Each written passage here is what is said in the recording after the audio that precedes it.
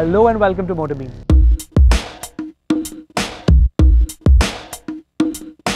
Volkswagen had launched their first made-for-India car, the Ameo compact sedan, a few months back. Now, in spite of being available only in the petrol engine option, it has outsold all the other Volkswagen cars last month. Now, Volkswagen has got a diesel engine in the Ameo, and we're going to find out what's so special about the diesel-powered car.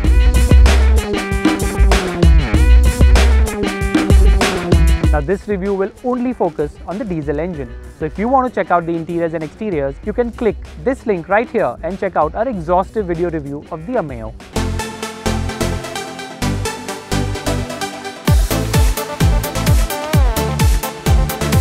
The 1.5 litre TDI engine is one of the best in the segment.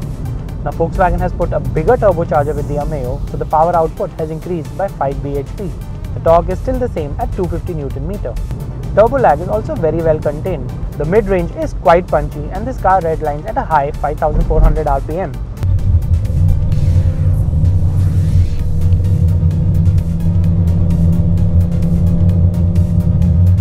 The 5-speed manual transmission is quite slick and the clutch is also pretty light which makes driving quite easy. But if you're the one who prefers automatic, it has a state-of-the-art 7-speed dual clutch automatic transmission.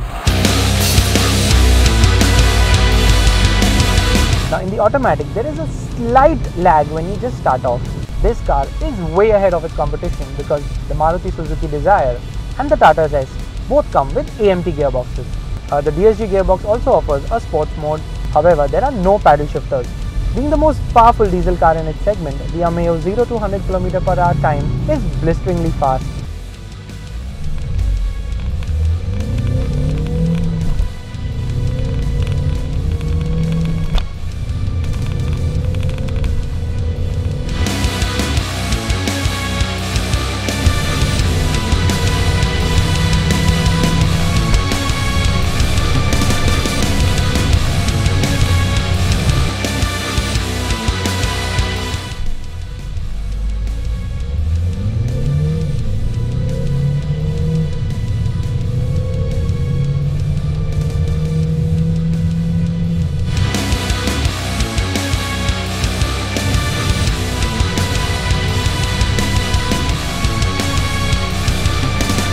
The diesel car is heavier than the petrol, so Volkswagen has stiffened up the suspension. This means this car is less bouncy and much more comfortable than the petrol one. Handling is quite good, the body roll is well contained, but the steering isn't as feedback rich as you would want. The brakes bite well and the braking is quite progressive.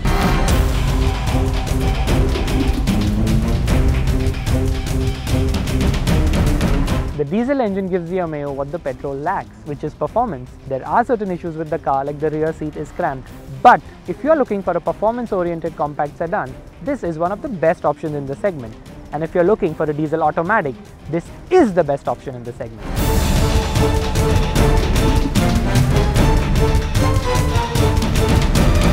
Thank you for watching. Make sure you like, comment, share and subscribe to the Motorbeam channel.